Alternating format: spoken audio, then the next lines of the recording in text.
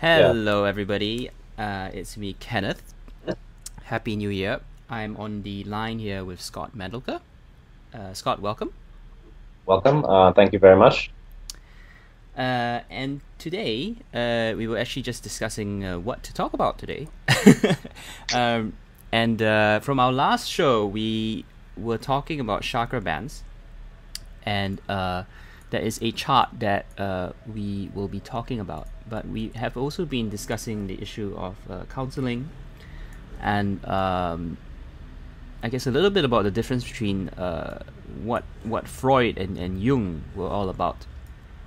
Um, Scott, do we want to talk about the chakra bands first, or cover what we would that thread? No, let's go into chakra bands first. Okay, sure. So, so in trying to link these two topics, Yeah. um, first I I would I thought that you can say that there are two approaches to personal transformation. Um, one is energy, and the other is consciousness. And in some traditions of metaphysics, it's said that there are two energy threads um, that are connecting our manifest body, mind, spirit self with the higher self and higher dimensions, or, or soul, true self. There's the life thread and the consciousness thread, thread, like a needle and thread. Mhm. And the life thread is really about the seven chakras and the sushumna and the nadis and the ida pingala, meaning the the, the main uh, energy channels that wind up the etheric spine, the back of the body. Mhm. Etheric body being um, six chakra body, energy field.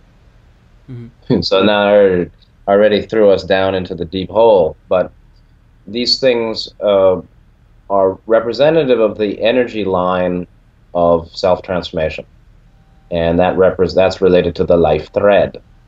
So the second way of transformation, which is really just two sides of the same coin, is consciousness, and that's the consciousness thread, and that's where we get into psychology, understanding mind and the distortions of you know psychological conflict and uh, unconscious patterns, old wounding, karmic wounding, karmic holdover, uh, and then the methodology of counseling as a way of talking it out, talking out the blockages, which does change the energy body and the chakras. Mhm. So there are really two different approaches to the same matter. Now, uh, anything you want to say about that, or can I launch into the chakras and the bands? Well, I'm just wondering if the if the well, I mean, I guess looking at it from a Buddhist point of view, everything, all phenomena is, is created by the mind. Is that correct to say? Um, not quite correct, because in Buddhism, to really make any affirmative uh, distinction uh, as to what enlightenment is, um, would be not, or, or what absolute truth is. You know, the absolute truth as seen by fully enlightened beings. No affirmation would stand. You'd be hit no matter what. So, because then you're thinking that mind is solid and real, and therefore there's a separate mind from um, all creation. All creation is the mind, and the mind is all creation. So to say, so if you can say that the mind creates phenomena, um, or all phenomena is mind generated, Sure. but you'd have to understand that mind is not separate from all phenomena and all energy. That's that's something exactly. So so when we're talking about having two threads, one being the seven chakras and then the other have being consciousness, I'm just wondering if the seven chakras by themselves are created by the mind.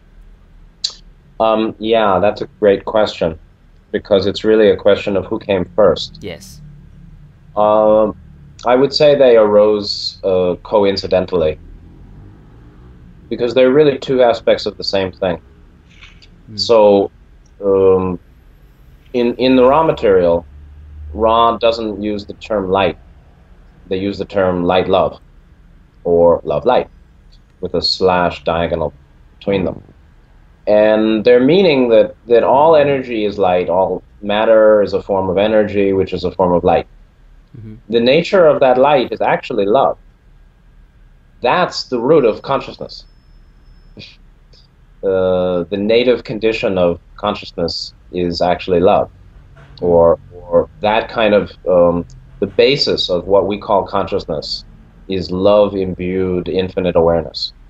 Intelligent infinity is of love. It's an infinity of loving intelligent infinity, or infinite intelligent loving, loving intelligence. So, yeah, um, you can say that mind creates everything, uh, but you have to understand that everything is the mind. And of these two threads, they're basically two aspects of the same beingness. Hmm. So you, I don't think they, they interplay. Sure. Uh, you know, so there's the the saying, energy follows thought. Hmm. That's what we're talking about exactly.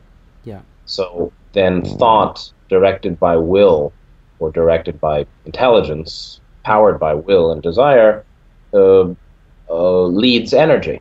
Hmm. Energy follows it.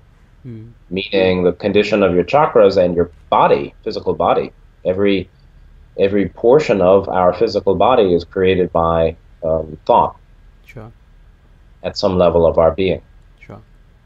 So yeah, you can say that um, uh, they interplay, uh, but they were. I would imagine they were born together.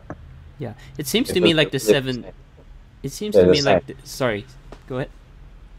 No, the thing is that they really are the same because light is love. All light is love light. Hmm. Therefore, all consciousness is energetic, and all energy is consciousness, Hmm. Is conscious. So I, I don't think it's right to say that they're different. I would say that they're two ways of looking at the same substance. Hmm. It's a different um, prism almost. Just two ways of looking at it. Oh, you know, we can we can look at the vibratory, and we call it energy and light. We can look at um, the thought it expresses in a more universal sense, or even archetype, and say that it's it's consciousness. Hmm. so you see, I mean, a real non-dual view in Buddhism it goes beyond the saying that mind is a separate thing that created the other separate things, but that all things um, have that mind quality, and and that's energy. That's love light, actually. so all of creation out of the Big Bang is all love light. Sure. What came before it was the free will of the infinite creator to have a Big Bang or a creation. Cool. So yeah, let, let's go on with the um, the breakdown. Okay, so um, that was just the introduction. Was it's gonna be heavy. 2,000 calorie appetizer. Okay, I had my rabbit sausage with uh, basil lamb fat saute, asparagus. Uh, so the idea is that the seven chakras as energy points um, represent a complex um, mathematics. And it's the same as the scale, the musical scale, and it's the same as the rainbow colors. And so the colors of the rainbow do correspond, traditional in many traditional systems, to the seven colors of the seven chakras. Now, people these days talk about 12 chakras, or 49, or some huge number, or nine. Mm. Uh, for me, the fact that we can see seven rainbow colors is enough that uh, to confirm that the ancient belief and Ra's belief too, Mm. that seven those seven colors are the colors of the chakras, is is a accurate metaphysics is good enough. Yeah. So that's good enough for me. Yeah. So within that seven, um, it just came to me. It actually this was really received information. I didn't read it anywhere Mm. and it came very clearly, and I, I was very happy to receive it. So, if you look at the chart, and I guess people, it'd be good if you could put that even as the um, Yeah. the image for the video. Yeah. I will. What you see on the left, you see two halves of that chart. There's a top and a bottom. On the top left, you see what looks like a bullseye. Well, not exactly the bullseye, but a column Mm. with seven uh, R numbers, R meaning ray or chakra, Mhm. seventh chakra at the top, first at the bottom, with an infinity symbol below first ray and above seventh ray, Mhm. and then uh, you know concentric circles linking seven and one, six and two, five and three, and four in the center. Mhm. That's the primary uh, view of chakra bands. That there that what came to me that, that was the basis of this is that the uh, seven chakras that we see, um, we can, if you can see, they're up the spine uh, in the etheric body, so they're not physical things, but they relate to physical organs. Mhm. Uh, is not properly seen as a as a vertical column, but is more properly seen as a sphere. Mm. And so we are not, you know, the physical body is a column, columnar vertical, Mhm. column standing upright, vertical top down, but that's only the physical body. Mm. The overall body mind spirit complex is a sphere. It's a triadic seven point, uh, seven banded sphere, or seven pointed, seven primary points within a sphere. And in that sphere, actually, there is a banding um, so that the top and the bottom have a linkage, right? Just like the circumference of a circle. Uh, 360 degrees and 180 on the bottom represents one concentric circle or ring. Then when you go in, you get the, the inner chakras. Mhm. And so, from thinking that way, then I could see okay, they fit very well. And actually, in the understanding of the chakras, the significance of these uh, bands, each pole of the band fits very well. So Ra says that the seventh chakra is basically um, our infinite nature, or the access to infinity, complete and perfect enlightenment, uh, Buddha, and uh, intelligent, uh, intelligent infinity Mhm. before intelligent energy. So the really, you know, the summit, complete and perfect, or Satchit Ananda, Mhm. and that's beyond personal consciousness. The first chakra is basically our anchoring to the physical body and material plane, and that's before consciousness. Hmm. And the chakras that are worked upon by the healer in self healing, in personal spiritual transformation, are simply the middle five two, three, four, five, six. Mm. You don't have to work on root chakra, but of course, if you do, you know, uh, various spiritual exercise like Tai Chi or Qigong or yoga, dervish dancing, or many things, it, the root chakra may be, you know, our physical uh, vitality may improve, Mhm. or our robust condition can, can be born. Seventh chakra is really not a matter of working on either. And so, uh, what's in the middle, the middle five, are the center of our work as you know, beings seeking to develop all we are. Mhm. And so then, when you get into the meaning of each of the centers, uh, you see some interesting things. Now, the next image to the right of the first, or top top middle, shows the seven rays in the division of three, Mhm. um, which really correspond to uh, spirit, mind, body, going from the top down. This is in Japanese uh, for work I did in Japan in, in the last 15 years. Mhm. And so what you see on the top, this is also a very interesting way of looking. There, you know, there's lots of uh, food for thought here, because the more you know the meaning of each of these centers, uh, that meaning is expanded upon uh, analyzing the correlations between them. So, like six and two, what's that all about? Well, you need to know six and you need to know two, and you can see how work on two is also a kind of work on six. Now, to break it into the three portions, you've got uh, the crown chakra, the sixth chakra, and the fifth chakra being related to spirit. Mhm. Fifth chakra, fourth chakra, third chakra related to mind, and first, second, third related to body. Mm. and so then you've got body, mind, spirit as three, uh, as a way of um, organizing the seven. Hmm. Uh, you also see the importance of fifth chakra, third chakra there, which is just so happens to be another chakra band, in that they are the juncture points between major complexes. Mind complex to spirit being fifth ray, spirit uh, body to mind being third ray, the juncture bridge point. Sorry. Uh, so the top is spirit, mind, and then body. Yes. S- It seems why why isn't the fourth counted as a spirit chakra?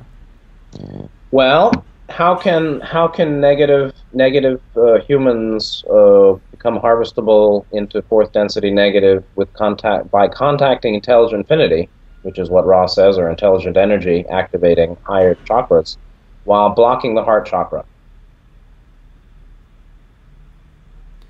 Sorry, repeat that, please. Sorry, I know this is too heavy for 9:24 in the morning.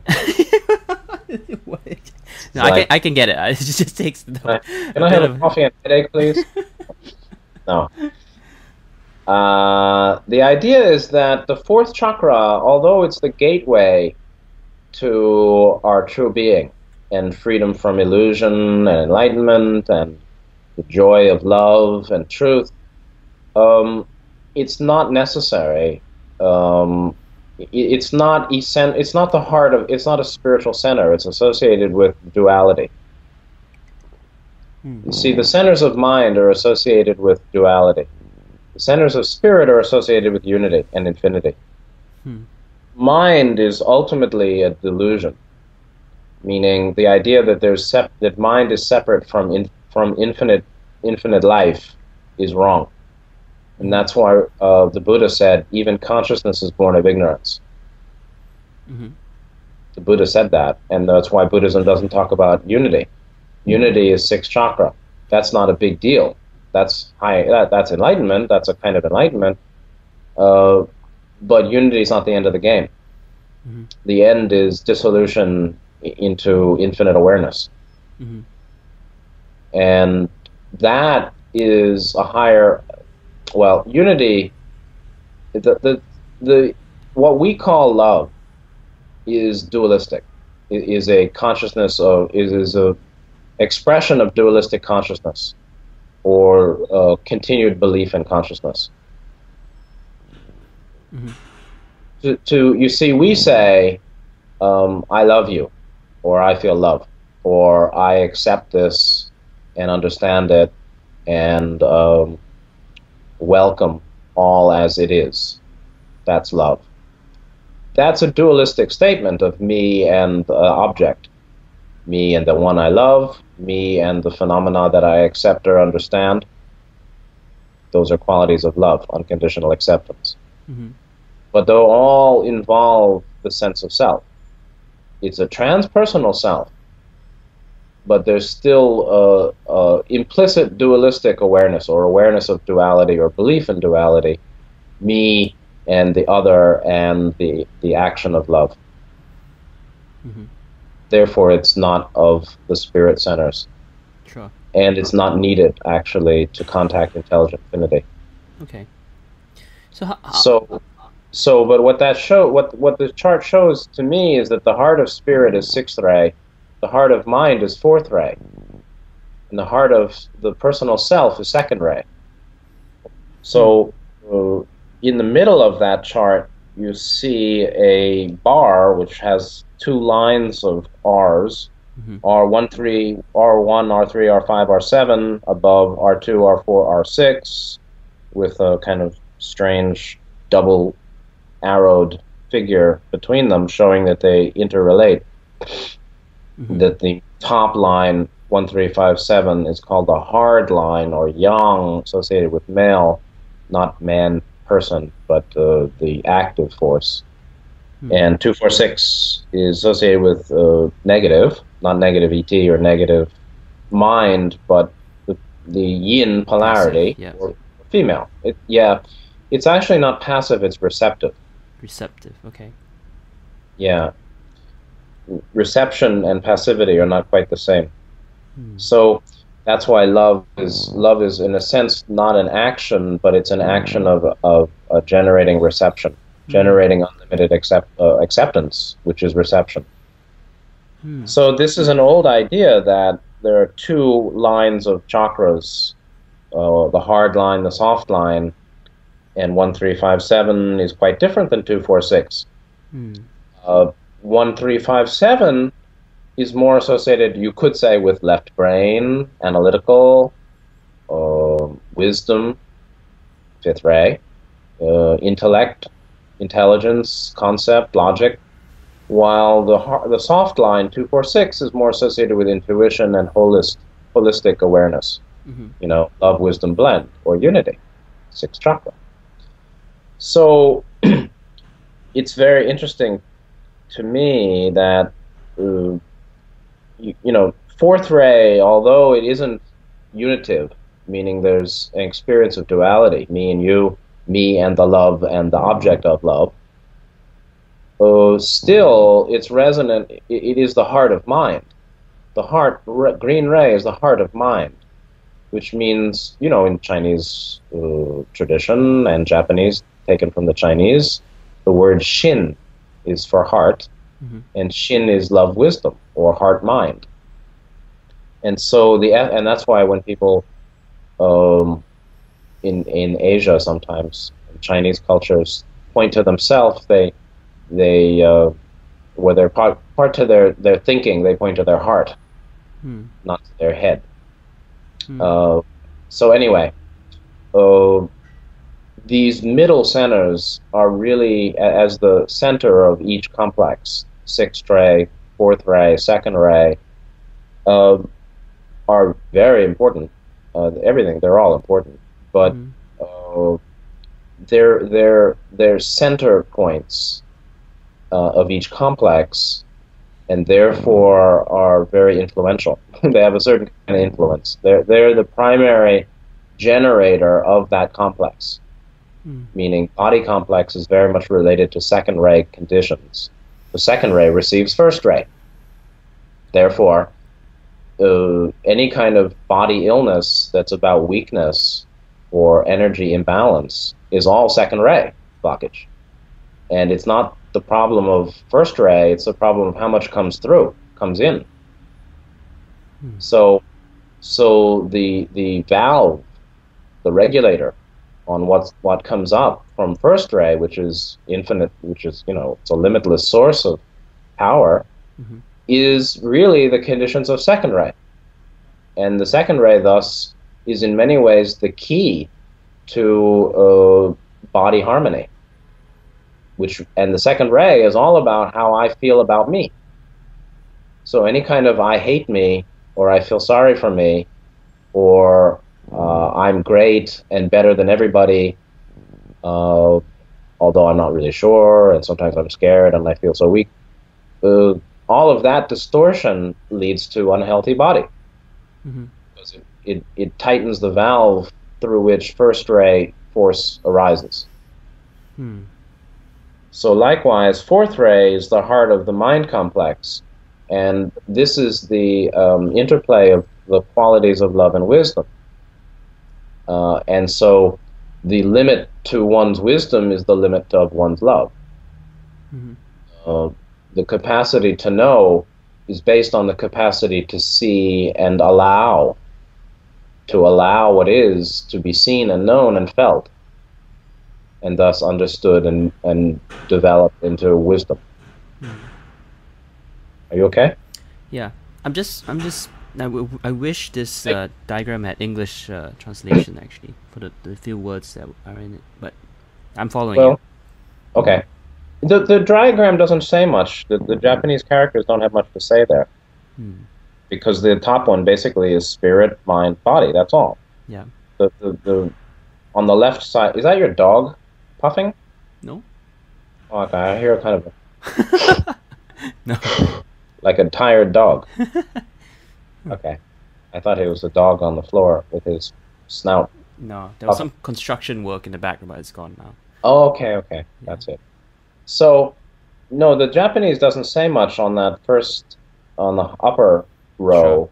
It, It's basically um, the katakana and hiragami, hira, hiragana or something, uh, of two ways of writing the same. Oh, I see. Okay, okay, I see. Yeah, I thought I was all. saying something. Okay, gotcha. No, so it's just spirit and mind and body, Okay. and the bottom is just I think male or female or yin yang or whatever. But mm, so anyway, yes, and so then the heart of mind is love, and and the problems with people who are love over wisdom is that they're not love enough. They're selectively loving. Mhm. I love what's good and what I consider right, and everything else I hate, or don't like, or don't want to look at. Mhm. And so, people who are naive and and um, immature spiritually and fall for false predictions and false leaders and false hopes uh, and you know deceptive promises, being kindly and sincere and trusting without yet sufficient discernment, therefore they're caught by liars, um, actually don't love enough. They only love what feels good. They can't love what feels bad. Hmm. And therefore they can't see what's outside of, of love. they can't love the unloving. They Sure. can only love love. It discriminates. Yeah. Well, yeah, rejecting. And so that kind of rejectionism leads to ignorance and and folly because it blocks fifth chakra. Hmm. So the problem of, of immature, spiritual immaturity or love over wisdom is basically a problem of inadequate love. Mhm. It is a selective loving that only accepts what's pleasant or harmonious or, or positive and doesn't accept complexity or the negative. Mhm. And then, of course, six ray as the heart of spirit is really that the, the primary development of spiritual complex or, or awareness of infinity and unity is the condition of sixth ray. Hmm. And um, that's really worked upon best by meditation. Mhm. And then we know that it's a, a ray or band connected to second ray. Thus, in many ways, the basis of second, or the basis of sixth ray, sixth chakra, forehead development as spiritual development, not just mind development, but development of awareness of multidimensional reality and the powers of our true being. That is blocked by um, distortions about self second ray, second chakra blockages. So you can't realize your true spiritual nature or, or spiritual reality when you don't like yourself Hmm. or you have all these distortions about identity. Hmm. And so that's another value of understanding chakra bands is that the higher development is very much linked to the development of its lower uh, band polarity. Yeah, sure. So particularly six and two, actually. So, I've got questions now. Mm. Um, so the bullseye and the and the and the body mind spirit or the spirit mind body diagram they're not quite linked. They're, they're separate systems. As in, Um, you know what I mean? They're different. They're different, yeah, right? they're just you know they're just different ways of looking at the pie. Right. They're different ways of cutting the pie or or um, uh, seeing the or- order of the circle, the order of sphere of the Mhm. sphere. Mm-hmm. I mean, the bullseye is bottom left, and um, I think that's just showing, uh, you know, a, a certain a different way of looking at body, mind, spirit, um, at sort of the the three dimensional back to two dimensional, and what's interesting is that it just shows that the the heart, the bullseye, is the heart. Yeah. And so, and that's the key for 3D, is heart chakra development. 90% of the souls on earth will go onto the positive path, Mm-hmm. 10% to the negative. But, you know, 9 to 1 are pretty good odds that almost everybody uh, listening in the end will go on the positive path, and almost everybody we talk to. Mm. And the bullseye center of heart, being heart, means you know that the key to our advancement as souls is fourth ray activation or, or development of love. Mm. Love, compassion, and unconditional acceptance, Hmm. which is virtue. Sure. So, so that's all. They're just a different way of looking at it. My next question is, is you use you use the word bands, but wouldn't spheres be a better word because they are really chakra spheres? Well, it's it's if you think of it as a sphere within a sphere. Mm. Yeah, I mean, again, it's the band is just a term that indicates their connectedness Sure. in a circular way. But it's 3D, you see, isn't it? It's what? Is it 3D? Is it three dimensional? Or, Uh, you're seeing no, this is actually more uh, conceptual. it's conceptual? Okay, all right, all right. Yeah, meaning the theory of the meaning and function of the seven rays. Not exactly the way a psychic would look at it, Hmm. you know, with etheric vision. Sure. But there is some correlation there too. But that's it's it depends on what dimension you're looking at it from. Sure. It's very because I'm I'm also, I'm I'm looking at the top left diagram and and it's very interesting that you know I definitely resonate with the two four six being feminine and the one three five seven as masculine and it's you see this alternating um, rings of female male fem- uh, what female male then female male again Yeah, or yin yang, yin yeah, yang, yin. yeah it's very Which interesting is- yes, it is. That it is. You see, the thing is that it's it's the essential nature of all light. So Ra said, the or the nature of en- the nature of all energy is light. So when we say light love or light energy, um, that's light or energy. that's the vibratory uh, field, you know, vibratory frequency, wave quality of existence and of dimensions, particularly, or of all matter, of all substance or form. It's vibratory. That vibratory ultimately is cyclic and is is polarized in its nature, meaning it, its manifestation is in a polarized way of plus minus. Mhm. And that's the origin of yin yang, which is the basically bipolar nature of light, Mm. uh, or light within a field becomes ultimately uh, magnetized. And so light is, if you think about um, electromagnetism, electric is the masculine, magnetic is the feminine, love is yin, wisdom is yang. Love is receptive, magnetic. Wisdom is transmissive or um, uh, electrical. And so that is the primary duality of vibration is electromagnetic or impulsive and um, receptive, potential and kinetic. Mm.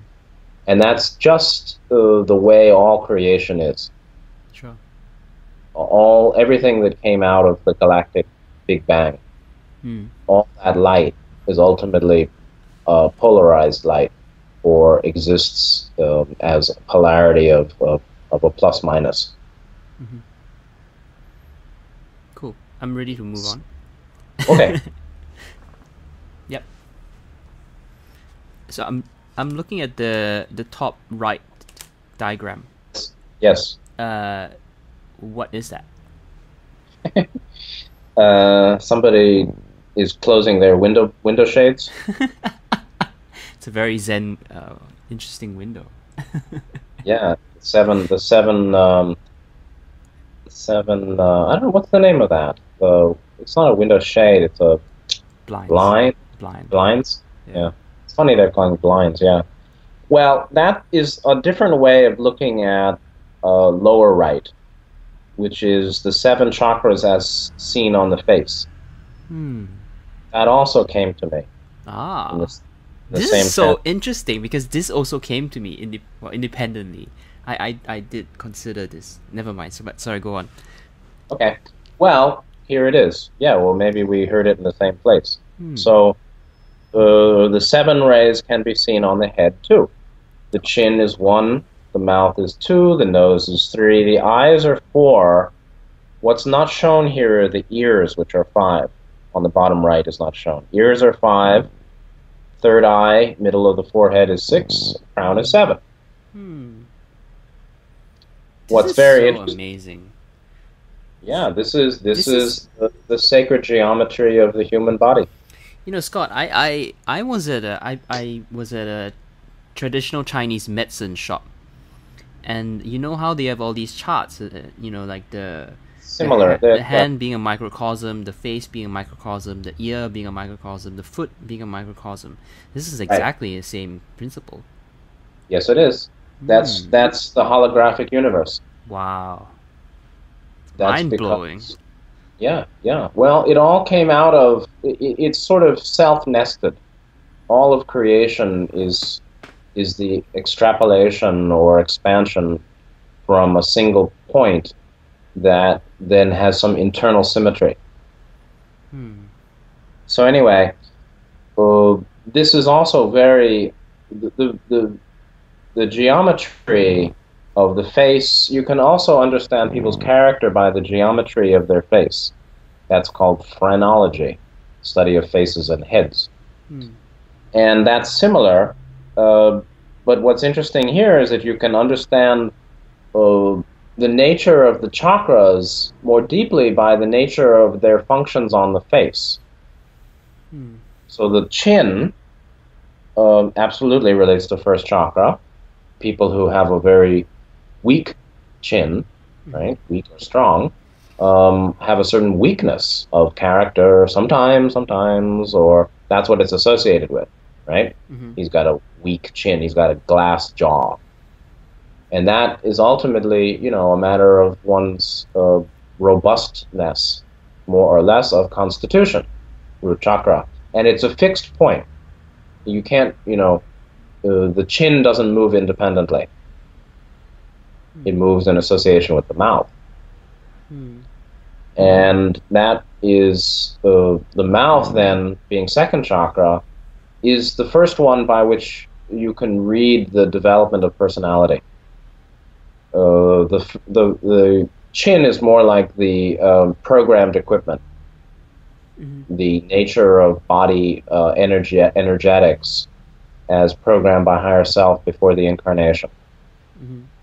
And it's also said in, in, a, in a source called from the Hilarion, Maurice Cooke from Toronto many years ago channeled it, that uh, some souls that have a particular hardship um, menu chosen by themselves, by higher self, for an incarnation called um, a challenge lifetime or a karmic working off lifetime, may program for a, a larger than normal chin because that number one is a sign to other people I'm not weak. It's a sign to the self that I have some power, and it has mm. some energetic relation to root chakra, and that's mm. because they know they're going to have a hard time that incarnation.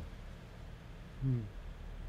So, but the main chakras that we need to concern ourselves with, really, on the face that are interesting, are two, three, four, five. Six is six, and you know, six is interesting too, but there's less variation in people's uh, forehead. There is variation, right? So the variation of forehead is really the, it does reflect on the condition of sixth chakra. Hmm. But the variation of mouth and nose and eyes and ears is more interesting. What's also interesting is that there's much more variation in mouth and nose than there is in ears and eyes right? Ears have a particular shape, and you know, they're, this part, the lobe is long, the lobe is not, detached, not detached. It's funny shape, normal shape, da da da. But the the, the, the, the spectrum of variation is limited. The eyes spectrum of limit of variation is also somewhat limited, big or small, you know, uh, sparkling or dull, uh, beady or open. Uh, but it's a kind of limited variation.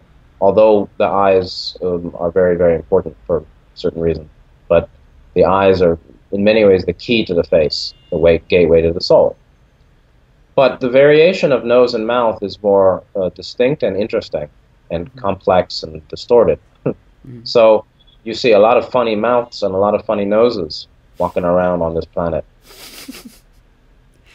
so um, that's all the, the variations of belief, of mind, uh, associated with second, third chakra. Sense of self and relation to others in the group, the emotional um, constitution or the emotional set, and the intellectual development. Two and three, two and three.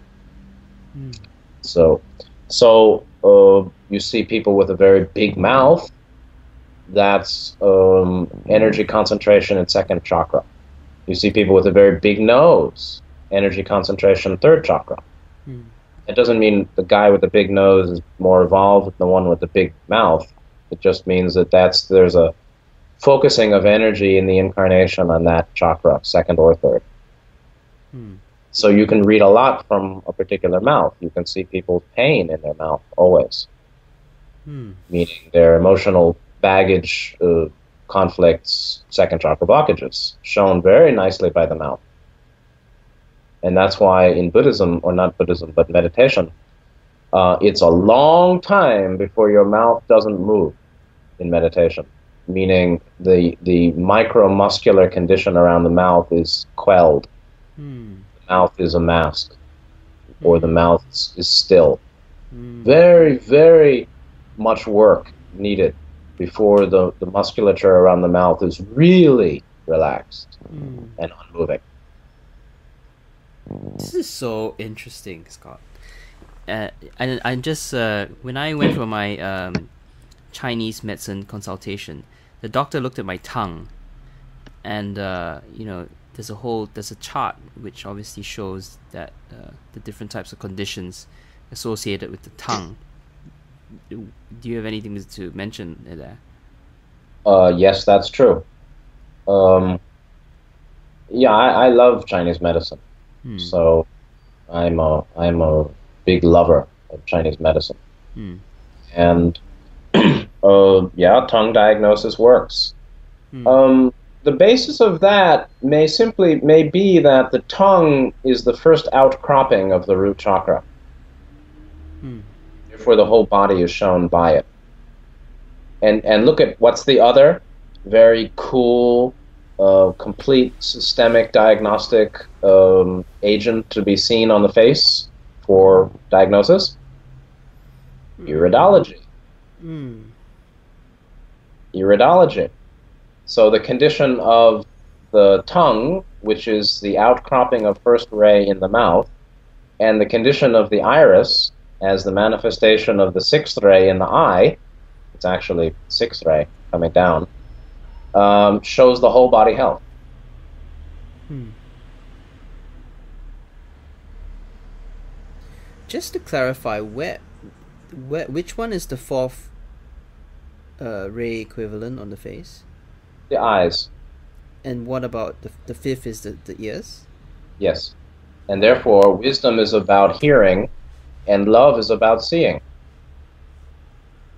Hmm. Unconditional love is unconditional seeing, willingness to see all. That is unconditional acceptance of all. That is heart chakra development. On the other hand, ears are listening.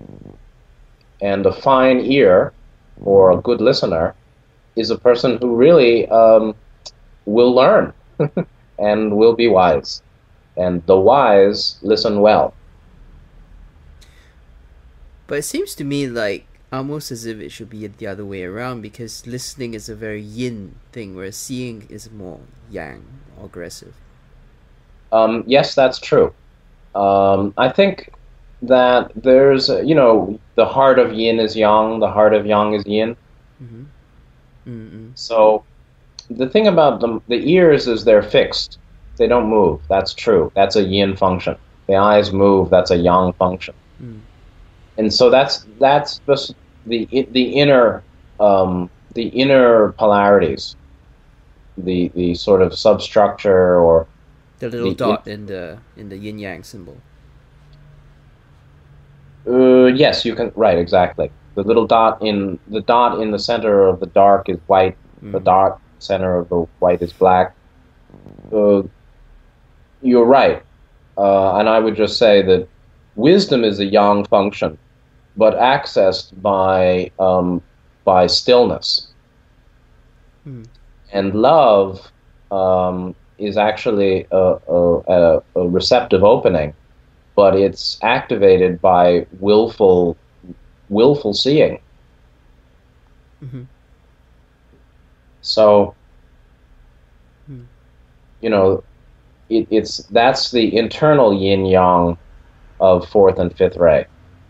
The internal yin yang is that, um, although I would, con- you know, Ra said that the fifth ray is the first center that's both outgoing as well as incoming, Mhm. which is a very deep statement. Which means that the fourth ray or love is essentially receptive, incoming, not expressive. So you can't give love, but you can be love. Can't But- give right. Okay. You can't give. You don't give love, but you you live love. Meaning you are in love, in reception, in unconditional seeing, Mhm. willingness to see, and so the yang in the yin. If yin, if fourth ray is yin, as we see two four six. Fifth ray is yang one three five seven. The internal counterpoint is that it takes an act of will to see what you what you may not like. You can close your eyes or you can keep them open. Mm. But once it's once that primary act of will, which is a yang action, is done, then the challenge is the pure reception of what you see, to understand what you see, to know what you see. Mm.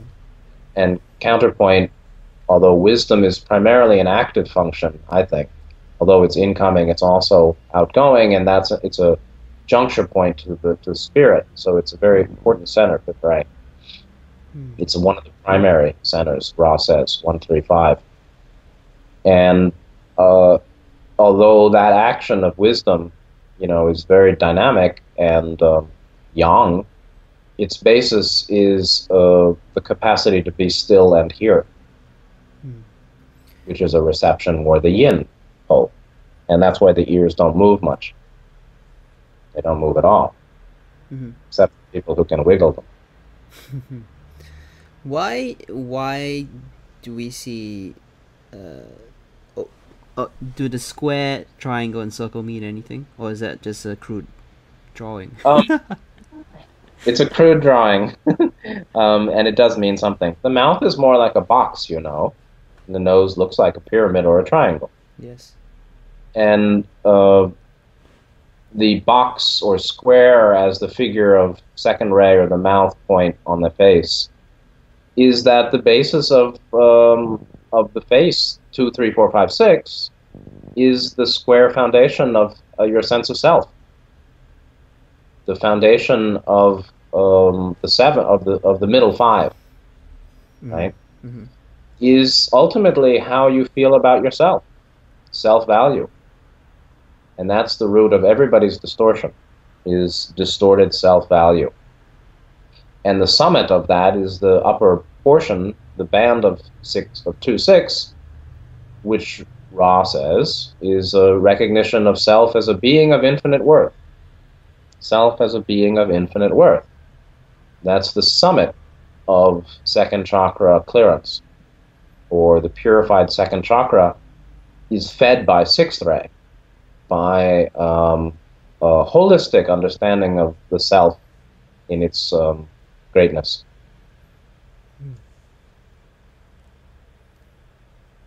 Nice talk tonight, huh? This is very interesting. Uh, very very interesting.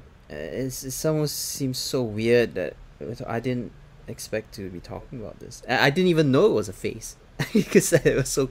I thought it was some esoteric arcane symbology, and then like literally two days ago, I was at this Chinese medicine shop receiving acupuncture, and now Yeah. we're talking about this. It's Right. just uh, something going on. Yeah, well, it's your your adva- your accelerated learning, self learning. Hmm. This is mind blowing. So- really.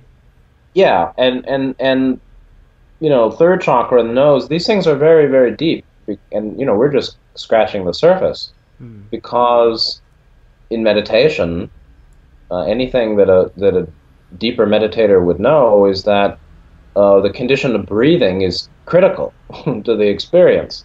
Yeah. You know, really hard to meditate when you're sneezing or your nose is stuffy. Hmm.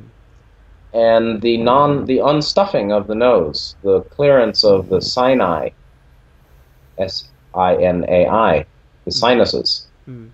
behind the nose, are central to the um, purification of the breathing in meditation. Purification just means the development in harmony to um, an ideal condition. Hmm. So, in deeper meditation, uh, one nostril opens and then the other one will open. And then you have no experience of nostrils. Hmm. You only have the experience of air coming, coming and going. And that presents a movement out of the dualistic consciousness of 3D, third chakra, nose. Hmm. So the dualism of the nostrils, and it's normal actually that everybody walks around with one nostril clogged or breathing through one or the other at any one time, and there are cycles of that in the day Hmm. or night too. There are cycles where the one nostril opens, the other one closes, or you breathe from one side to the other. That's instinctive. That's reflexive. That's uh, parasympathetic. Meanwhile, that also expresses the normal dual, duality of our 3D consciousness. What in is- meditation, in meditation, um, we can experience the duality of the two nostrils, where one is blocked and one is clear, or I'm aware of that, to no more aware of that because I'm breathing from behind. From behind the nostrils, the sinai are clear or open, and that's a big deal for yogis, actually.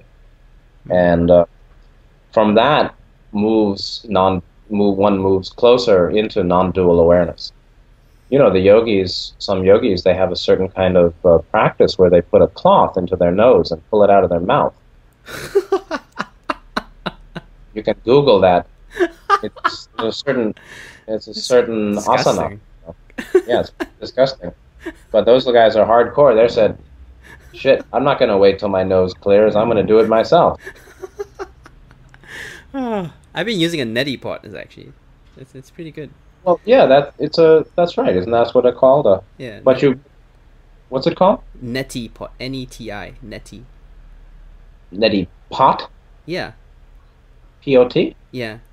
What is that? What is that? Then? It's a it, it's like a it's like a little pot and you put uh saline solution uh body temperature and then you run it into your nasal cavity by Okay. kind uh, and then you kind of uh, jiggle the water which clears the especially the upper uh chambers which connect to the ears it's almost Right. like when you go swimming you know sometimes you get water in your nose and it's, it doesn't Right. come out Well, uh, that's yeah yeah. That's because there's a whole um, internal uh, structure, uh, a cavernous, multi-cavernous structure of liquid movement, mucus mainly, Hmm. uh, between mouth, nose, eyes, and ears. Hmm. Two, three, four, five. Why? So, what does a sharp nose mean about you? A what nose? A sharp nose, like the French. Why do they Oh, have sharp, sharp nose. Sharp. Um, it means the the primary meaning of the nose is the uh, sense of self, the ego. Hmm. Not not my feeling. It's related to my feeling about myself, um, but it's more of an intellectual uh, consideration, intellectual definition of self, as opposed to purely emotional. Mhm. So, the uh, sharp nose is a person who's very intellectual Hmm. and very Virgoan, very Virgo Hmm. very critical, um, um, and identifies themselves with the intellect normally, Sure. like uh, Scrooge. Hmm. So it's it's uh, a big nose and a sharp nose usually indicates um, strong ego, Hmm. meaning a strong dualistic, separative sense of self, Hmm. which is third chakra blockage. So, Mm. likewise, a very small nose, like associated with Asian groups, Mm. some Asian groups. Mm. Not Japanese. Sometimes Japanese have a big nose, but uh, like Southeast Asian. You ever Mm. been to Cambodia Mm. or you know uh, Sakao in Thailand? Uh, people have a kind of a um, small nose often, and it's kind of there's no bridge. There's not a big bridge. It's kind of uh, flat from the from the peak, not the peak. I'm sorry, from you know the point between the eyes, the bottom, you know, between the eyebrows, that where it starts if you're going down. Mm. It's kind of close. It, it, there's not much alt. There's not much of a high nose. It's a low nose, curved, and a little fleshy button tip. Mm. that's um, very undeveloped sense of self, Very or interesting. or very group identified. You know, my family is everything, Mm. and um, uh, more of a second chakra basis. Hmm. We could we could get some pictures for this uh, video, huh? That would be It's very you. nice. Sure, sure. Yeah. Yeah, well, this is actually very deep stuff, and it goes very far. And um, you know, facial diagnosis for the healer and the counselor, Hmm. and the teacher and the helper is uh, useful. Hmm. Hmm. So you can tell a lot about that by, by about the person by the condition of mouth, nose, eyes, and ears. Primarily mouth, nose, and eyes. mouth, nose, and eyes. Yeah. Sure. So What? Uh, now I'm looking at the the bottom left diagram. the, the, Yeah. The bullseye. What do those Right. Japanese characters mean? I actually I forgot, but um, uh, I think that I'm really not sure. You got me. I forgot what what I had them write. So, but there are a few ways of looking at that. Uh, I'm not sure what Can we are. can we copy and paste into Google? I know it's an image you couldn't copy, but Ah, you can put out the word for some Japanese friend to Yeah. give a quick Yeah. look over. yeah, I will. yeah. Oh. Yeah, actually, I'm not. It's funny. Uh, you got me on that one. I forgot what I what I had them put there, and I'm not sure how I would read it today. Frankly, how how long ago was this? over five years. Hmm. So, uh, one way you see, my understanding of these things also is developing. So I'm not sure what I meant at that time.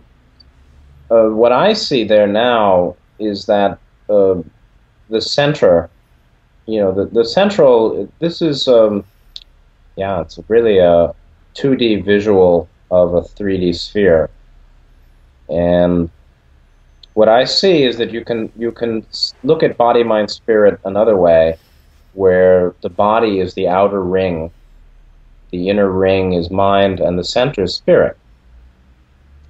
Hmm. Uh, you can also look at them as chakra bands. You know, again, the yin is in the yang, and the yang is in the yin. So, or there's a yang in every yin, and there's a yin in every yang. To say that the central, can the central circle is spirit is also relating to fourth chakra, linking to six Hmm. because the spirit centers of the head um, are really accessed by love. That's the importance of love on the positive path. Hmm. And uh, the middle is mind, which is very much the bridge, you know, between spirit and body, Hmm. the creator of body, uh, and the uh, the tool by which you know mind uh, purifies itself, by which we develop. And the outer rung is body, if you want to call it that, is the most superficial aspect of our being, or external. Have you ever encountered anybody doing this kind of analysis with the chakras and the and the head? Nope. This is really groundbreaking, actually. Yep. Hmm. Maybe. Yeah. Yeah. Well, this was received information. I remember I was in San Francisco and um, letting the mind be free, and uh, it all came and. It's so perfect, you know. It fits so well. Uh, I was so happy to get it, and this is it. So yes, it is. It's original uh, on on 3D right now. it's not. It's not uh, from me. It's through me. It's a, a universal truth through me. And I'm just, it's just coming to me that it's of course essential to look at it uh, from a 3D perspective. I mean, it seems very natural for me that the center of the sixth ray should be in the pineal gland. Would you agree with that? Well, you know, there's a controversy about is which which glands in the head are associated with which chakras. Hmm. How I learned originally is that the pituitary is associated with the sixth ray, and the pineal is associated with the seventh ray. Mm-hmm. Uh, personally, I like that because the pineal, the shape of the pineal gland, like a pine tree, that's where they get it from. Hmm. The Latin root pinus, sorry, P-I-N-U-S, Hmm. uh, uh, is that shape, is uh, the antenna, is an antenna shape. Mhm. Pine trees are particular, that, that whole evergreen family, are particularly advanced members of the tree family, meaning they're some of the, the most developed trees around, Hmm. pine trees or evergreens. And they're green all year round. Hmm. Meaning they they persist in a certain condition despite the four seasons. Hmm. And the green is heart chakra, so they keep their green all year round, which is like being in love, you know, despite cyclic change. Hmm. And so I would associate that with the seventh ray. But there are good arguments on both sides. Hmm.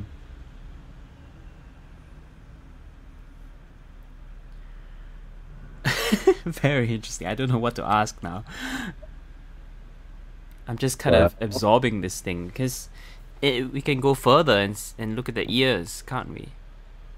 Yeah, well, you know, in Buddhism and many traditional in Hinduism, Buddhism, uh, and some other Asian cultures, uh, big ears are associated with wisdom. Right? The Buddha has these huge earlobes, Hmm. particularly a detached earlobe. The bottom of the ear, the lobe, is not attached to the, the side of the head, it's the top of the jaw. That's a sign of healthy kidneys in Chinese medicine. Chinese medicine, the kidneys are very much associated with the with the ears. And when you have kidney issues, there'll be ear issues. If there's a pimple in the, you know, if there, you can feel a cyst. If there's a cyst in the lower port, lower lobe, meaning if you feel your ears, you might feel a little some hardness inside there somewhere. Anything like that is related to kidney or the inability to uh, excrete something, some waste or something unnecessary. Hmm. Uh, the ear as the symbol. You, what's interesting is the detached lobe, earlobe, was more common in people a hundred years ago, Hmm. and it's considered a, a generational weakening, a weakening of the immune system and of the kidney yang, that modern people have attached earlobes. Any macrobiotic teacher will tell you that.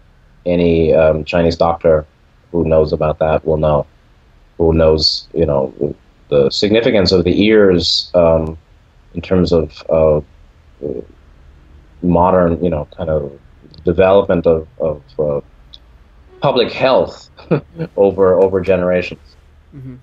And so modern people are actually weaker in chi or yang force than people were 100 years ago, uh, even though people live longer today. Now, the big ear is in Buddhism associated with wisdom. And thus, you know, that fits the understanding that ears are the correlate of fifth chakra. Mhm. Big ears are associated with um, profound wisdom uh, to the top, where the Buddha has a special kind of ear and um, a special profound wisdom. It's associated with longevity, and so uh, people with big ears have strong kidney chi, kidney yang force, and often do live longer. Mm-hmm. That's itself considered a, a karmic um, benefit or a karmic um, reward or the karmic result of virtue. Longevity is associated with virtue or using catalyst well on one's path. And so that's why elders of communities traditionally, you know, the old ones, the older people, are revered or appreciated. You know, they worship, not worship, but, you know, the, el- the, the wise elder. And the older they are, somehow the more people revere them or uh, imagine that they're, they're, they're special or, or wise. and, and that has a karmic basis, which is that the person who has the long ears is a person who's used their energy well in previous lives in service to others and self development.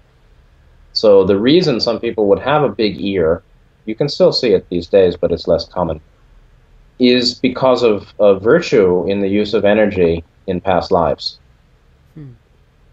And therefore, the people who live longer with the bigger ears, perhaps, uh, are those who are uh, who, who are already more developed in wisdom. That's why they have big ears, and that's why they have strong kidney. That's why they live a long time, and then therefore they do have some um, wisdom development. Not everybody with big ears is wise, but uh, it's associated with that. And in many ways, uh, hearing changes as one develops spiritually one can hear things you didn't hear before. Hmm. And hearing, both physical hearing can improve, like people can hear noise from far away that they didn't think they they didn't think they they could hear it, but they do because the ears are deepened. There's a deepening of the receptive canal in the ears, and I am sure that some top-notch uh, physiologists could probably find information about that that uh, I mean, there's who would you research, but uh, there is a change to the uh, the capacity to hear sound and vibration in the physical ear as one develops spiritually, hmm. and that goes along with greater receptivity of heart to accept life as it is, which is not fighting and not controlling and not struggling, which is love. Mm-hmm. Uh, and then the person knows more because they can hear well. You know, if you can't listen well, you won't understand well. What do you, how do you, how would you comment then on the on the psychic faculties like clairaudience? How does this relate to clairaudience? Is this clairaudience? Well, no. Fifth chakra is mind still. It's the bridge to spirit, but it's not yet. Um, it, it there if there's a link, it you know, the psychic powers of clairvision, clairaudience, uh, spiritual hearing, spiritual seeing, um, are basically uh, the result of linkage between activated sixth chakra and fifth and fourth. Mm. So the eyes being uh, fourth chakra related on the face, uh, are improved in their seeing or they, that some quality of seeing uh, allows them to perceive multidimensionality in clairvoyance. That's really the result of sixth chakra activation, not fourth in and of itself. Because hmm. there are lots of lots of loving people who are not clairvoyant, but there are but the people who are clairvoyant have certainly done meditation and spiritual practice to develop sixth chakra. Hmm. So clairvoyance is basically, um, you know, uh, the sixth chakra seeing through the fourth. and clairaudience is the fifth chakra, or the sixth chakra seeing through the fifth. So mm-hmm. one is 6 4, and the other one is 5 6, or 6 5.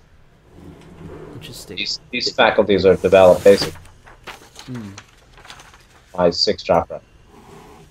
What about the what about the senses? Uh, you know, touch, taste, smell, sight. Hearing? Well, that's that's what we've got here. Mm. So uh, touch is the root chakra. Mm. Taste is the mouth second chakra. Smell is, of course, third chakra. Seeing fourth. Hearing fifth. Knowing sixth.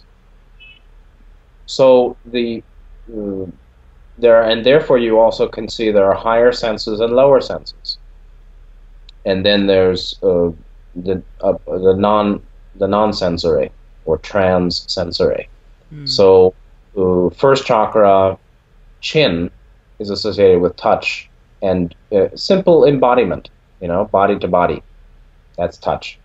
Mm. And so that's the lowest or the most earthy or the ground most grounded of the senses. Taste goes up, and um, that's the mouth. And the mouth is, is very complicated, and has, there's a lot going on with the mouth. Uh, that quality of taste um, is a sort of a, what is taste? You know, what is taste? I don't know. It's some kind of um, uh, oil. You know, the, what is taste? Taste is basically volatile oils um, and biochemicals of food. Hmm. The biochemicals and the volatile oils that represent taste, and then of course also smell, are very much a second, third chakra matter. And so uh, that how that relates to the sense of self is uh, is very esoteric beyond me. But mm, you can say that uh, the capacity to taste is a distinguishing of quality, um, smell and quality of food, Hmm. and therefore it's a second, third chakra combined matter. Um, but it's also a matter of receptivity. You know, dulled senses versus highly um, refined senses, Hmm. the sense of taste. So taste can be dull. There are some people, you know, they don't know, they really don't taste food. Of course, there's a lot of food in the modern world that has no taste. Hmm. That's, you know, that's the way mass market food is going. Hmm. Uh, the capacity to taste being a reception of quality of food based in, you know, biochemicals and ultimately volatile oils. They're, they're different chemicals that are associated with um, scent, C- S-C-E-N-T, or smell. Mm. That's what's being tasted, actually. So the tasting is a combined um, mouth and nose activity. Its basis is the is tongue, but the basis of tongue ultimately is a deep level ability to feel, to to um, to sense and be to be aware of those qualities of um, of living matter, which are the volatile oils. Hmm. It's very esoteric. I'm just thinking about how sexual the mouth is now. You know, like kissing and Yeah, eating sure. a meal together and cooking for one another. Well, not only that, Oral But- sex, yeah. well, oral sex, but, but the mouth is like you know, like the lower uh, orifice. Ah, yeah, Right? that's true. Mouth is mouth as vagina. Hmm. And, And also tongue. penis, yeah, yeah, yeah, yes, exactly. Yeah. mouth and tongue as vagina and penis. Wow. Gosh, that's huge. Yeah, and so the root energy coming from the chin activates, you know, the watery cavern of the snake tongue and the, you know, uh, absorptive mouth hole cavern, very much like, you know, male female organs. Hmm. Uh, being then also related to food. Hmm. So sex is a kind of food too. Hmm. Of course. So one's appreciation of food and one's appreciation of sex are often linked, right? Uh, generally, people who are, have strong sexuality also like food, Hmm. or you know, the sensuality of eating. Hmm. That's a sexuality of eating, and that's very much because uh, the mouth is the uh, you know generative organ of the face of the head. That's a very serious matter. So What do you mean by generative? it generates new life. Mm. The lower organs, the, sexual organs, are first actually their first chakra, which is interesting. But their uh, their condition is very much related to the condition of second. So people think the second chakra is the sexual chakra. This is not technically correct in this view, in my view, uh, and from traditional sources actually, and Ra. Uh, the root chakra is the sexual organ, but its quality of expression depends on second chakra conditions. So the people who are very sexual are actually people who are are very either uh, unblocked or blocked. there's very sexual that comes from blockage. There's very sexual that comes from no blockage. Hmm. But uh, it's the valve of red ray sexual force, the second ray. It's that's the valve that opens and closes and expands or minimizes the flow. And that can then that in, in sexual union makes new life. Then in um, relationship, communication makes new life. What comes out, you know, what is what is the ejaculation of the face? It comes from the word, from the mouth. Hmm. The mouth ejaculates.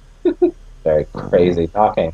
The mouth, the mouth expresses by word the conditions of mind as a form of um, fertilization of the, the mental atmosphere. Communication. Hmm. So uh, be careful with your word because you're creating new life. Hmm.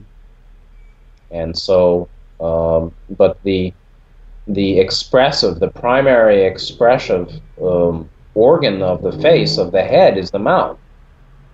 People can have expressive eyes, but if we're looking for physical expression or audible or more um, 3D plane uh, manifest expression, it's all from the mouth of the head.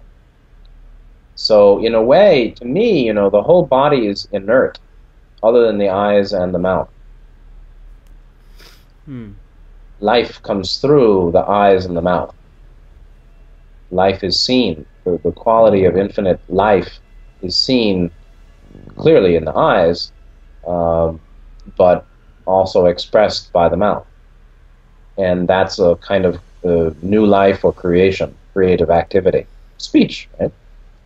And so then there's the link between second chakra and fifth, because you can say that the mouth, while is the second chakra on the face or the head, um, clearly is a result of fifth chakra development, right?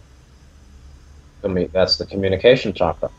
And so there's the linkage between two and five, or five and the, you know, five and two. So, you, you know, one way to look at the face chakras, head chakra, the sub chakras, or the chakra correspondences of the face, Mm-hmm. is that they're all subplanes of the fifth of the fifth ray. Throat, center of throat, is fifth chakra.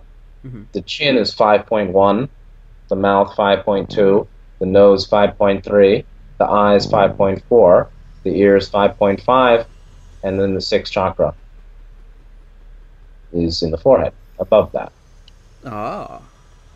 meaning that uh, the no the, the mouth or let's say the chin the mouth the nose the eyes the, the eyes the ears less so but mainly the, the chin the mouth the nose uh, the eyes um, are very much related to the condition of mind obviously and that's very much a fifth chakra affair its basis is four but its um, individualization is by five. The distinction, of personality, and the sense of self, or one's mind, higher mind, true mind, is very much a fifth chakra affair. Hmm. That's why people who are love without wisdom don't have much to say. they say, I love, I love you. Um, it's beautiful, beautiful, dear ones, your beloved, yada, yada, yada. But they don't have much to say That's true. because uh, they haven't developed fifth ray sufficiently to um, to articulate mind.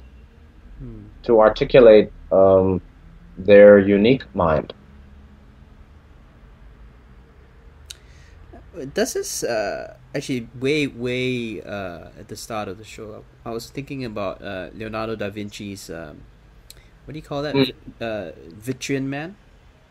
Is it the Vitruvian? You mean the guy, the five-pointed star guy? Yeah, yeah. Right. Well, that's the correspondences of the middle five with the five limbs.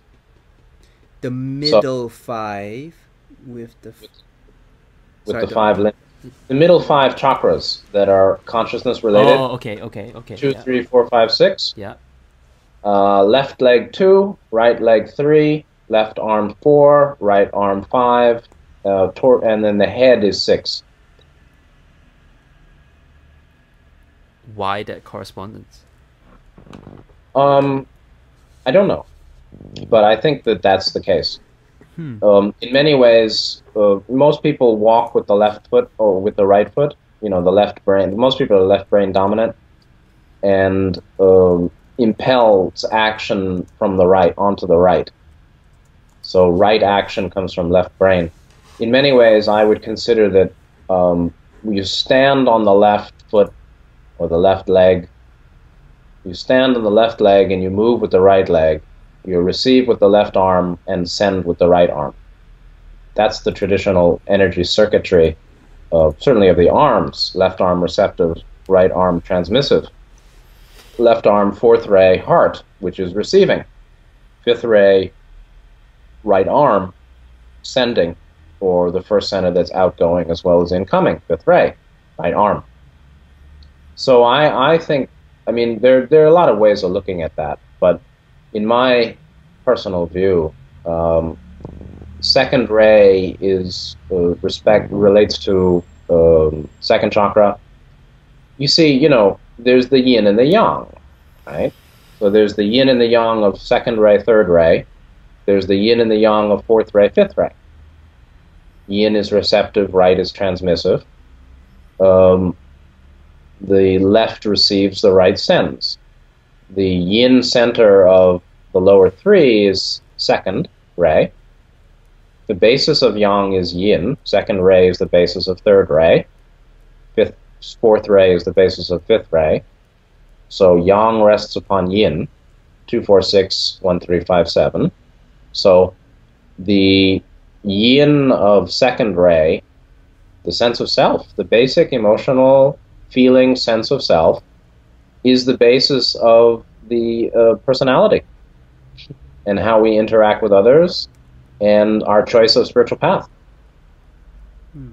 And so the second ray is the basis of third, the left leg is the basis of right moving forward, left arm, fourth ray is the yin basis of mind, as love or reception is the basis of understanding and knowing. Left arm in, right arm out, right arm being fifth ray, wisdom transmission. And then uh, the last one is the, the head as a whole, which is the center of spirit or the spirit complex. Uh, and that is uh, very much, you know, the fifth the fifth point of, of the five that are that are worked upon, being sixth ray. Hmm. So the legs are second, third ray. The arms are fourth, fifth ray. The head is sixth ray. And uh, left is receptive, yin is transmissive. Left, stand on the left, walk with the right, receive on the left hand, and send out through the right. Hmm. That's what he meant. Maybe. Because I'm looking at the diagram now, and it's the the, the it's not quite symmetrical. If you look, I'll send you. I'll send you another diagram. Hmm. Uh, yeah, it's not. I don't know. I really don't know that diagram, so I, I can't say much about it. Sure. I've seen I've seen it, and it's you know it's the same kind of fivefold uh, architecture. Sure, and it, it- you know he even divides the um, the human body obviously height wise at the knees and then at the at the genitals and then at the nipples and then at the neck. Well, these are all you know. The body, you know, is a is a representation of sacred geometry Hmm. through and through, in in every last detail. So it's said that the elbows and the knees are the third chakra are correlated to third chakra. They're sub they're sub chakras of the third. And if in the middle of the arm, from the finger to the shoulder, is the elbow, third chakra. The dividing, the, oh, the, the, right. the connecting connecting point between the hands which touch and the upper arm, which is basically just energy flow to the heart. The connecting point is the elbows. Just in the same way that the connection between the physical the physical sense of self, which is first, second, third chakra, right? 3D consciousness is not spiritual, it's not transpersonal, it's very physical material. And that's first, second, and third. And three is the, the bridge to the uh, transpersonal. Just as the elbow is the bridge between the lower arm and the upper. Same with the knees. So does I'll give you I'll give you another picture. sure I'll send it to you here. sure. Okay. Actually I have a few to send you. Okay, yeah.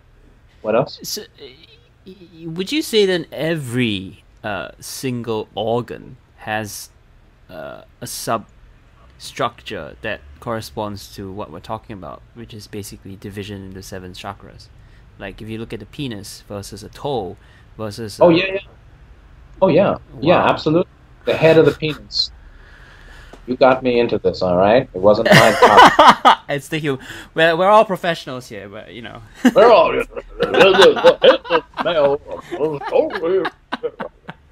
Welcome to the doctor's office. the spiritual doctor's office. Right, right. Well, yes, you can say that the head of the penis is very much related to sixth and seventh chakra, Hmm. but but it's Yeah. it's not quite like that. It's a little it it's it's like that, but it's uh, don't have a, a strict sense of it. It's not like you know, so some guy has a very why are we getting into this? You know, very scrawny pencil version, but a big head. Does that mean he's really spiritual? Uh, thought you would like that. Uh, I, I wouldn't want to be on record as saying that, okay? I mean, I mean, I said, but I wouldn't be on record saying that that guy is a spiritual fellow. I just think he's just a Oh, this is this a- is a very interesting show. yeah, yeah. You never know what what we'll get into here. I, th- I thought it was going to be a very a very abstract show, but it's turning out to be very grounded. Actually, I think everybody can relate to the body. Uh, grounded or, or in the gutter, I'm not sure which. one. Get your head out of the gutter. I'm not sure we're gonna show a, a picture of that. No, no, no, no, no, don't, no, no pornography on YouTube, okay? you gonna you were gonna send me some pictures? Yeah, I'm trying to find a medieval picture. There are a couple that are very nice. This is so fat. That must be people who study this, huh? Oh yeah, sure. What We're not, would you? Not the only ones. Sorry, it? We're not the only ones who know this. Hmm. Um,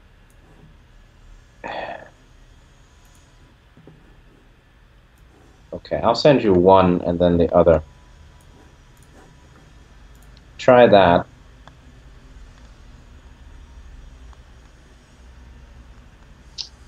It's really slow. Uh, no, two minutes. Yeah. Yeah. Speeding up now.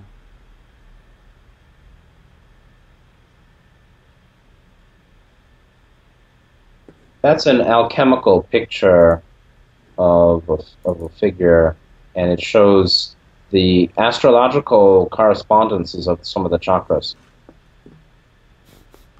Wow. The astrolord, yes.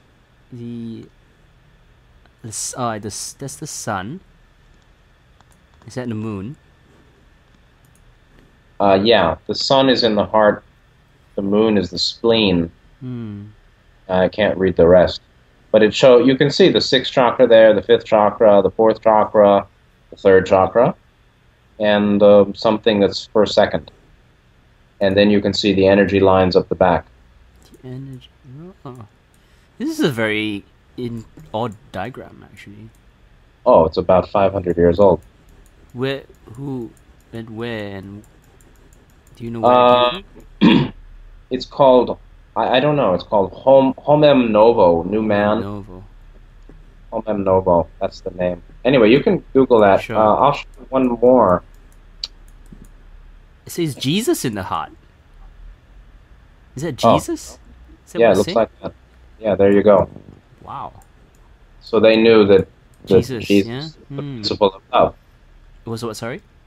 That Jesus was a manifestation of the principle of love, universal love. Sure, sure. That's amazing. Ah, here's the one. Uh, one more.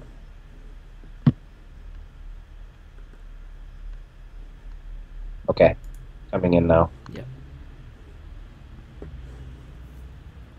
Do you uh, know of any other uh, like authors or researchers that, if one were interested in this field, how would we proceed investigation? Uh, no, I don't. Um, I don't know anybody.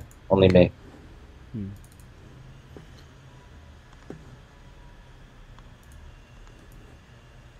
Avarice. Colère. I- I'm looking at the diagram. Oh yeah, you're yeah. See, avarice and then So col- that so anger, you see that shows chakra bands. see chakra bands as spiral. uh, as universal. Well, those are the planets of the solar system. That's the a- astrology of the seven chakras. Seven, six, five, four, heart, three, two, one. Yeah, all seven there. A little bit off angle, but it shows the um, spiraling nature. Hmm. So you see, I mean, 500 years ago, these guys knew these things. They knew much more. You have to read French to know what those what they're saying there. But Yeah. this was, a, I think this was a German guy, Gichtel, Gichtel, Gichtel, Gichtel. col- Yeah. Well, colère means anger, and avarice Okay. is obviously average. Okay. This is okay. Anyway, we can look at. I just want to check what orgale means now. Just typing in in Google. Mot de jour. Do you speak French? No, no, Pride. really. Pride. Oh, Pride. And the seven. Hmm. It's like the seven sins, huh? The seven deadly sins. yeah, that's what they probably put that together. But uh, it's interesting that pride is also considered the last uh, distortion that the bodhisattva has to give up before becoming a Buddha. Hmm. Meaning, the last one to go is pride. Meaning, a person can have in Buddhism three out of the four four levels of enlightenment or penetrations, what Ra would call penetrations of intelligent divinity. One can have three out of the four and be very, very well developed and still have pride, which is basically spiritual pride or an identification with one's um, experience of bigness Hmm. power, vision, awareness, understanding, capacity, dot dot dot, Hmm. and says that's me, which Hmm. is not. It's not me. That's the universe. Hmm. And avarice, greed, uh, sitting next to the mouth, under the mouth, you know, is the greed what of eating. I don't know, but uh, these pictures, you know, they're revealing and they're hiding at the same time. These alchemists, they didn't say everything, or they hid a lot in their pictures. Hmm.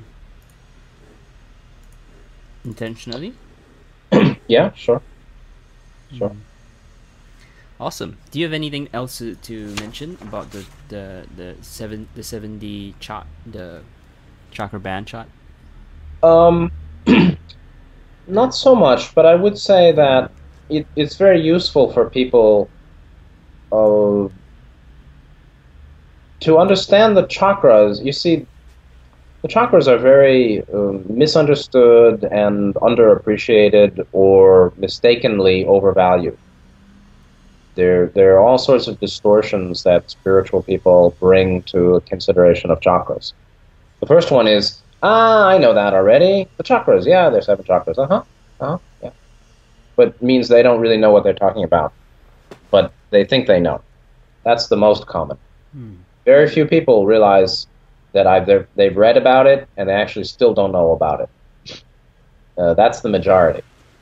Then you have the people who think they know all about it, but they've only read some few books that are all in the same view.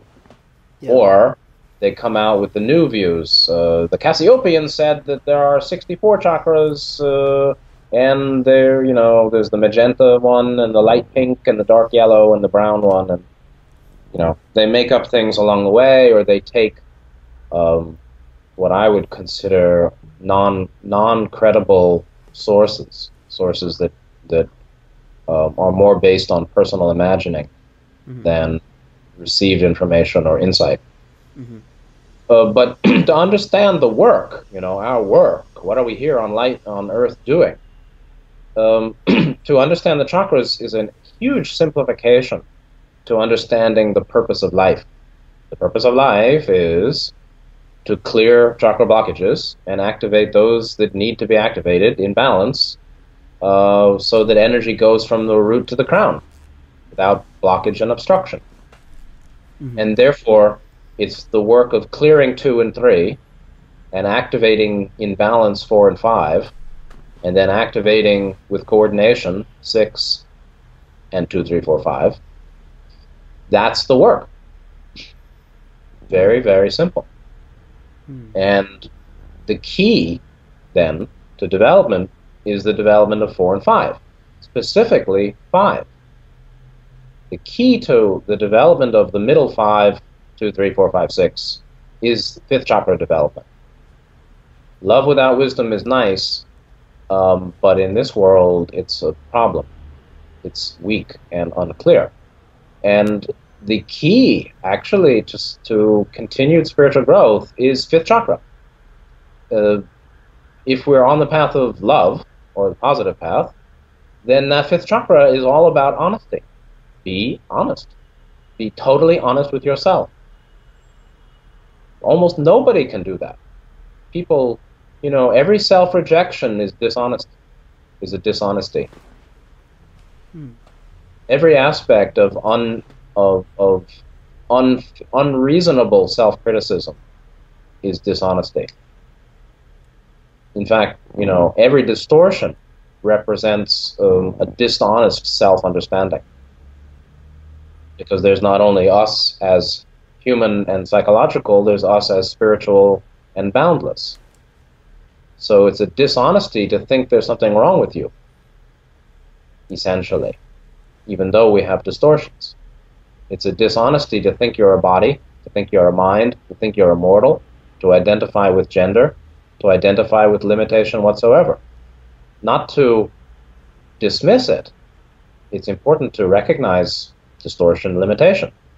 But identification with it is a problem. That's dishonest. And you know, every every psychological condition is related to a kind of dishonesty or disingenuousness towards the self. The key to a good relationship is honesty. How many people can do that? How many people want it? How many people want your honest appraisal of them? How many partners want total honesty? Thus, conflict uh, continues. So, honesty. Honesty means, you know, I really don't feel well. You know, there's really something wrong. Or, it seems that I'm always not happy. It seems that I'm always frustrated. It seems that I'm actually not doing too well. Or how am I doing? Let me answer that very honestly. How do I really feel? That's honesty as applied to second chakra. How am I in this group? What's happening in the situation? What do I really want here? What's really happening here? That's honesty applied to third chakra. So, uh, that's the big problem, you know, uh, with the people on Earth. So Ra said that uh, the human people on Earth uh, have a great paucity of honesty, meaning a poverty or lack of honesty. Mm. And uh, as I reflect on it all, year after year, I think that's very spot on and um, very center point uh, idea because uh, you know it's like uh, my cat died and I'm crying all day. Mm-hmm. How can I handle it? Somebody asked me this recently. Mm-hmm. In the end, uh, there's no trick. How do you handle it? Well, cry and cry and cry and cry because mm. you're sad. Mm. How else do you handle it? Mm. But people want to get out of discomfort. I mean, I do. Nobody wants discomfort.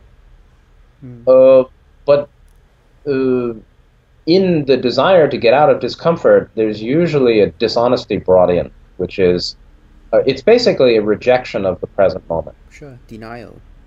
Right, denial, avoidance, escape. Mm. I don't want to feel this. It will never heal if you don't want to feel. The way to full healing is uh, unfettered feeling. Mm.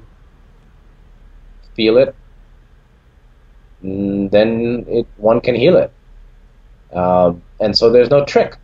And and you know, I mean, I was launched into meditation by the uh, by the inability, the impossibility of being dishonest to myself about how unhappy I was. Hmm. My misery, my wretched state, at age whatever, 17, 18, 19. I, I was unable to deny it, and I was unable to avoid it, and I was unable to have any other activity that released that uh, internal suffering, the hatred of uh, life, or life on earth, many things here, and hatred of ignorance. So, uh, because I couldn't avoid it, and I was honest with myself that it was quite awful, anguish, uh, and yet then too I was also honest that yes, I could see that meditation was the way out, was really a way out, for sure. Meaning vipassana, breath mindfulness, and movement into insight. Uh, because I was honest about that, then I knew that there was nothing other to do than sit and sit and sit and sit. And that's all. And if you sit and sit and sit, hour after hour, day after day, month and month, month after month, and year after year, it will all get clear, and the suffering will go away hmm. by the willingness to experience one's anguish and complexity and conflict and uh, real emotional uh, process. And then sitting and sitting with love and self care, uh, it will dissolve. It really will. And that's the straight path without artifice, without artifice. Mm. And and that's the fast way, which is to sit through your misery. Mm. Uh, but people are stuck and stuck because they're unwilling to face the pain they're in. And they try to avoid it as a means of getting out of it, deny it, flee it, manipulate it, dismiss it, degrade it, hate it, and it never goes, of course. And that's all dishonesty. Hmm. You know, dishonesty is a rejection of love. Dishonesty is a rejection of truth. Truth is known by the love, willingness to know and see what is. Hmm. So if you want the fast path, be really, really honest hmm. to yourself.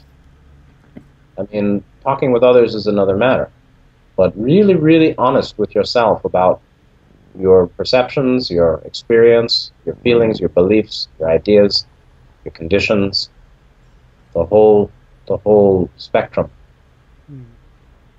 And most people are really they don't believe in themselves enough to be um, fiercely honest with themselves. I'm not talking about talking to others. I'm just talking about authentic, you know, self uh, knowing.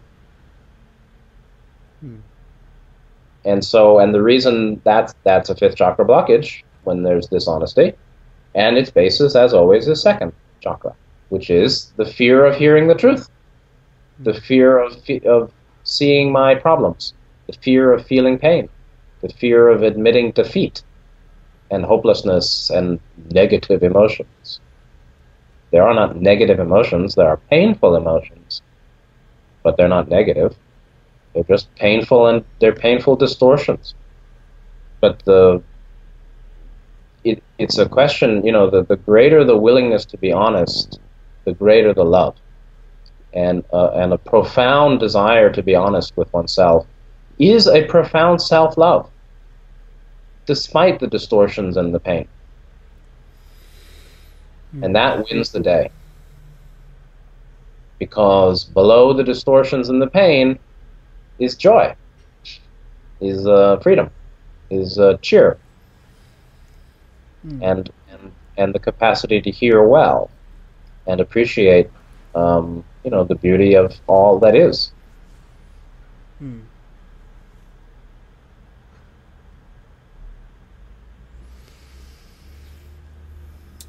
Wonderful. I think we can talk about Freud another day. yeah. We can talk about counseling next time. Yeah. That'd be a great idea. Yeah, so I think yeah, you could say it's a wrap. Yes, let's do that.